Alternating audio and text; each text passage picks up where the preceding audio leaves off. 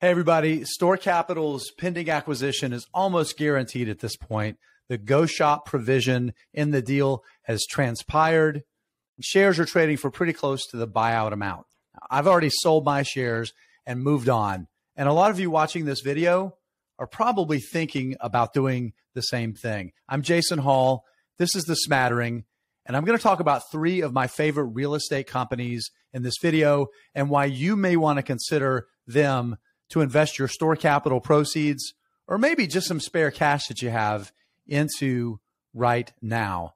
But first, I just want to thank our sponsors at The Motley Fool. We've got a great partnership with The Fool, and we get to make these videos because of that partnership. They've helped me become a better investor. If you want to become a better investor, go to our link, fool.com forward slash the smattering, put in some information, and The Fool's going to share its 10 best stocks to buy right now with you.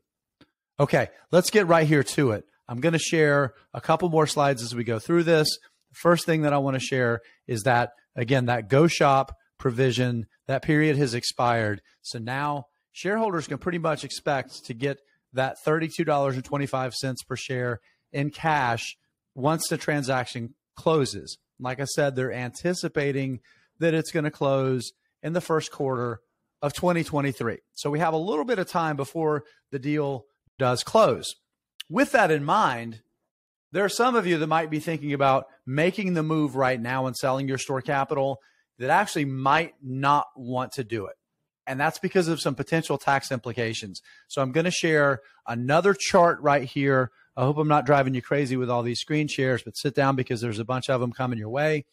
Here's the thing tax law in the US. If you're a US investor and you own store capital in a taxable brokerage account and you bought shares basically anytime from mid February all the way through the, the, the day that that deal was announced, you're showing a gain.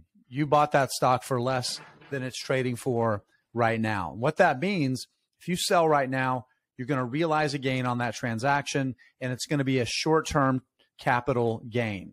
Again, if you hold it in a taxable brokerage account, you're a U.S. investor. What does that mean? That means that the gain that you make on your store capital proceeds that you realize is going to be taxed at your marginal tax rate. What is that? That is the highest tax rate that you pay on the dollars that you earn. So you need to know what your marginal tax rate is. Take a look at it, think about those implications, and then decide if it makes sense to sell or it makes sense to wait for the deal to close. They're saying it's going to close in the first quarter. So if there's a chance that could get you over the finish line and move this to a long-term capital gains rate where you're looking at 15% um, capital gains tax, that might be the smartest thing for you to do. Now, if you're not in that situation or nonetheless the tax implications are not significant enough that you want to wait, let's talk about some stocks that I think you should buy. And the first one, this is one that I use some of my proceeds to buy, and it's Realty Income. Okay. So, first of all, Realty Income stock is still down about 22% from its high back before the pandemic. So, you go all the way back to early 2020 to get to Realty Income's price, um, high price, prior high price. Now, what makes Realty Income really interesting to me is that this is essentially the kind of business that Store Capital was trying to grow into, right? Now, the other thing is you look at realty income, and for the long term, this was a market beater before the pandemic. It was consistently a market beater before that period. The market absolutely trashed its shares, and the stock has struggled to return back to those sorts of gains that we saw before that. But again, I think we can make the case considering you can buy the stock now, earn a dividend yield almost 4.8%. They've grown the dividend multiple times since the uh, pandemic. They've continued to grow their business. I think there's a clear case to be made that Store Capital is going to return to being a market-beating investment. Again, this is where the company is now. It's an S&P 500 company. It's one of the 10 largest REITs in the world. It's a dividend aristocrat. They've grown the dividend every year since listing in 1994. They pay a monthly dividend that might be attractive to some investors out there. So I want to mention that. Again, You think about the fact that there's a $12 trillion total addressable market for net lease for the kind of market that they participate in. There's a tremendous opportunity to continue to compound this business and to grow it larger and larger over time. So again, realty income, if you're looking for really, you want to own a business that's very similar to the sort of assets that Store Capital owned, I think realty income has to be has to be at the top of that list for you. Now, up next, I'm going to make the case for another retail REIT, but one that participates in a different sort of business. And that's Tanger Factory Outlets. Okay. It's a really interesting turnaround story. If you go back to before the pandemic, again, I'm kind of using that as the starting point for some of these stories. This is a business that had turned around. It spent the three or four years before that. It was had really struggled. It had taken on a lot of debt. It grew too quickly. It ended up with a lot of not really good real estate assets in its portfolio, but they spent that few years before the pandemic addressing that. They fixed the balance sheet. They sold off a lot of underperforming assets. And frankly, that's the reason they were able to get through the pandemic essentially unscathed.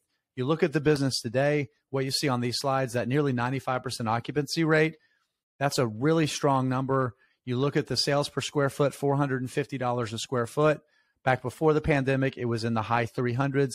They continue to grow that number. They continue to grow net operating income. They've had a good history of being able to grow their rents over time, too. One of the things that I really like a lot about Tanger Factory Outlets, you might hear it and think, wow, this is retail, this is malls, this is terrible. Those, these properties have remained in very, very high demand. One thing is that we know that shoppers like a bargain. They tend to prove relatively resistant to recession, even when that happens, because again, people like a bargain. They're looking for value. They drive a lot of traffic. And as a result, it's a really important business as part of the omni-channel strategy that brands take, right? That that strategy approach. So I want to talk real quickly about what you're getting when you buy the business. Again, you buy Tanger Factory Outlets. There's a record of growing that dividend. They they slashed it before the pandemic to preserve cash. They've gone back to growth mode with that dividend. At recent prices, you can lock in a yield above 4%. And I think you're getting a business that's absolutely in growth mode going forward. We're going to talk next about something that's completely different. You saw there, I pulled up the the the uh, Y chart for Blackstone. So we're going from a couple of REITs, and now we're going to an alternative asset investor, Blackstone. And you might be thinking, what are you, what are you doing here, Hall? You're you're you're going off the reservation. You're going AWOL. You're getting outside of the real estate focus. And the reality is that that's not the case for Blackstone. Blackstone, yes, it's one of the largest alternative asset managers in the world. It has hedge fund operations, private equity, all of those different buckets that these alternative asset managers do. It's also one of the largest real estate owners in the world. Real estate is kind of the cornerstone of its business. Okay. So that's why I think it's a really attractive business. If you really still want to have real estate exposure and you're looking for a beaten down opportunity, Blackstone, I think, is worth taking a look at. I'm going to pull that slide back up and I'm going to talk through some of the metrics here. So again, the stock is down substantially. You see the purple line, the stock is down, I don't know, what is it down? 38%? Yes, down 38% over the past year. That is significant. As a result, the dividend yield has been pushed up substantially. It's almost at 5.4% at recent prices. That is a really, really strong yield. Now, I want to point this out, though. I think this is important too, before we move on to making the case for Blackstone, is you look at that dividend, the long tail is growth but from quarter to quarter, it is variable. All right. So you have to think about that. If you're an income investor and you're buying this for the income it's going to generate now, you got to budget that in. You need to understand that the dividend will be variable from period to period. Now, I'm going to make the case next for another reason Blackstone is really compelling. REITs, those real estate investment trusts, the others that we've talked about, the dividends, those are pass through entities. They don't pay corporate income tax as a REIT, but you pay a higher tax if you own this on your dividend if you own this in a taxable account. Generally, that dividend is considered um, taxed at your marginal tax rate. Again, that highest tax rate. So think about that. With Blackstone, it used to be a publicly traded partnership. Now it's a corporation. Okay. As a corporation, its dividends are going to be taxed in two separate ways. First of all, a substantial amount, this is from the August dividend, was taxed.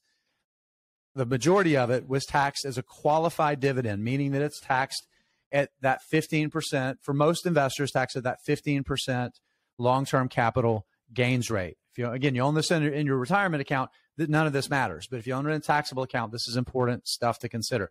So again, you put for the for that qualified dividend, that's at your long-term gains rate. Now, return of capital, that's what ROC stands for. This is a non-taxable event. So that dividend that you earn, that piece of the dividend is not taxed. However, this is important.